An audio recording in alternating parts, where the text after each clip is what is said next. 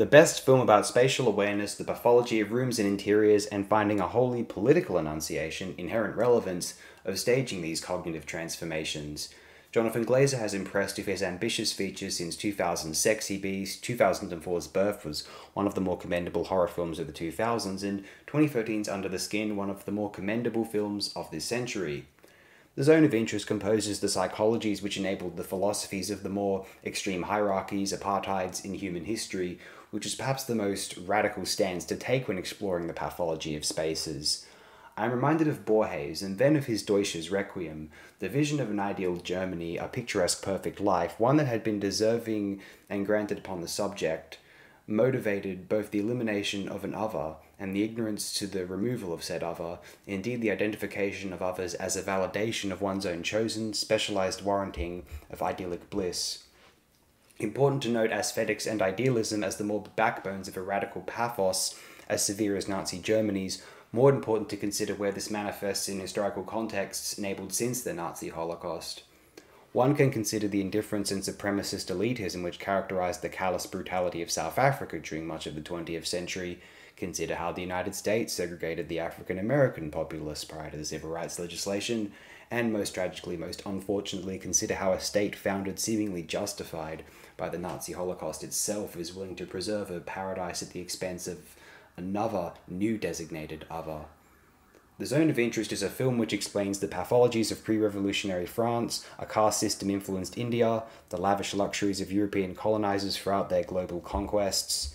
To communicate space as a bastion of contextual modernity, as Michael Mann often has, or to display a contemporary as a psychological nexus of behavioral possibilities, East Asian filmmakers as disparate and diverse as Zhang Lu, Lou Ye, and Naoki Kato in one or some instances, is entirely incredible.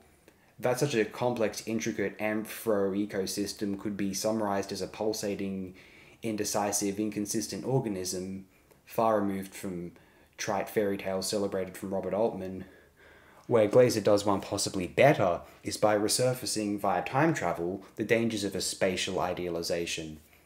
One of my favorite paintings, almost my favorite even, is Fragonard's The Swing. Here it is. A more ideal space I rarely imagine. Most of my ideal spaces pertain to gardens in some manner or another, and yet to what degree is this space operating in spite of or enabled inherently via the suffering of French serfs of the pre revolution era? There was an infamous historical text, Hitler's Willing Executioners. Possibly one of the more important takeaways from the zone of interest is that the executioners, the German populace at large in this case, need not be willing executioners, just indifferent associates, accomplices. This is a dynamic which can be observed in films as diverse as Fritz Lang's Metropolis, to Martin Scorsese's Goodfellas or Bertolucci's The Last Emperor. Throw in Lean's Lawrence of Arabia also. That marked contrast between the affluent, the safe, the serene, and the violent, the oppressive, the genocidal, the sadistic, the psychopathic. In 1980, Helma Sanders Brahms composed and released a highly personal film titled Germany Pale Mother about her parents' experiences before and during, then after the war. It depicts two individuals simply trying to survive during that tumultuous epoch, and the zone of interest also reaches into history, identifying the recorded commander at Auschwitz, Rudolf Höss, and examining instead where the hierarchical hierarchical beneficiaries of the Nazi regime, not merely just the common people, though as extras those are featured too, but how the commandants, and namely their wide eyed smiling families, went along with it. How did Eva Braun perceive the ruthlessness of Hitler? Imagine the ignorance of Hitler's pet dogs.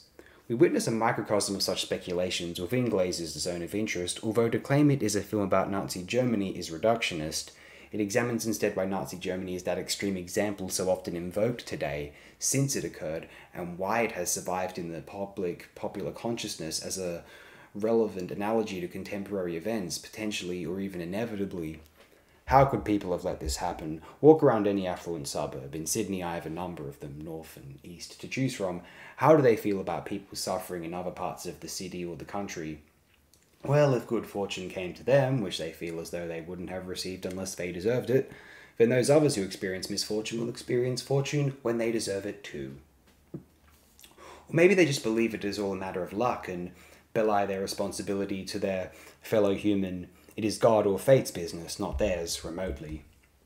And that may be true, but think for a moment how Rudolf Hoss's wife justifies her own lifestyle, or even how she seemingly doesn't feel the need to. She is so happy with her circumstances that she needn't bother. The surest sign that humans may commit to savage violence and systematic repression is the proposed promise of paradise material, spiritual, societal, familial. These are the most immediate surface level takeaways of the zone of interest. I implore anyone else to share any more on this.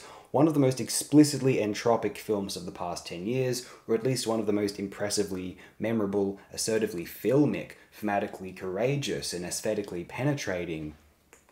The aesthetic of the zone of interest is not to look pretty, not solely. It is to demonstrate the ley lines of aesthetic itself for a poised political philosophic purpose, challenging filmmakers to explore new avenues of cinematic composition within that rote art film slash festival paradigm. Glazer demands you move on from such a picturesque, still Wes Anderson esque aesthetic pathology, for its similarities to an Aryan ideal are far too stifling, troubling, and if nothing else, archaic. After the zone of interest, what purpose is there to employ this aesthetic again to illustrate the developed world? If we want to avoid Nazism as desperately as possible, maybe there are more mental similarities to sever than we had initially considered. The justification of hierarchy has creeped into our contemporary world, one which defines itself against Nazism completely, and Glazer has exposed this prim, poised, symmetrical post Apple aesthetic for what it is. And hopefully, all those who view his exemplary film will do so too.